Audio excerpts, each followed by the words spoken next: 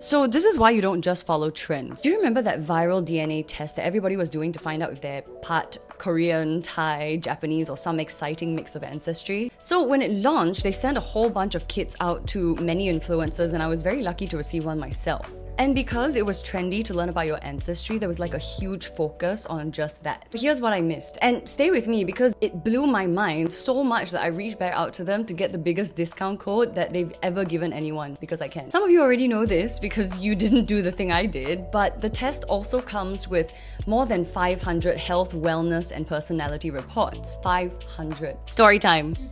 Alexa, stop!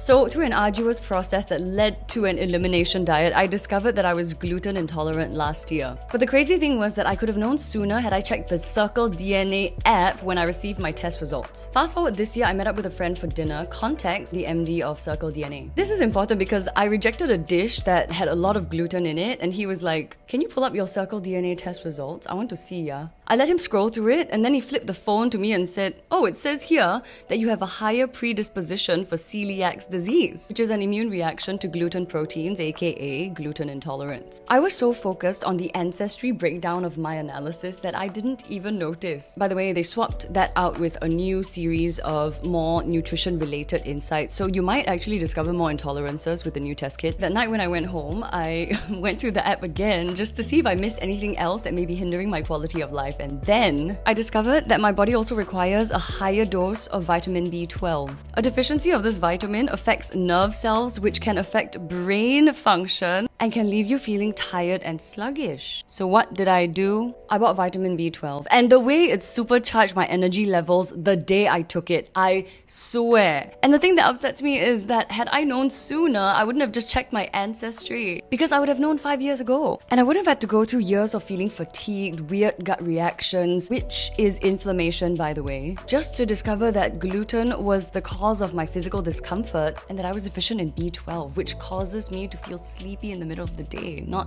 anything else that I assumed it might have been. Which also means when you buy this DNA test, please don't just look at your ancestry. Because your DNA is your body's code, it's really nice to know about all these little details, and you can't get it in a single blood test, which means the price is actually very reasonable for such a comprehensive breakdown using the most powerful DNA test on the market. And one of the perks of being a content creator is that I get first dibs on the discount, which means I got seven kits for my family. So I'll share the discoveries with you as well, with their permission, of course. But for now, if you want to enjoy the special rates and discount, please head to the link in my bio. Based on my own results and personal discoveries, I think it's a super good gift for yourself or the people that you love. Obviously, there's no pressure to purchase, but you know I wouldn't share if I didn't think it would be beneficial.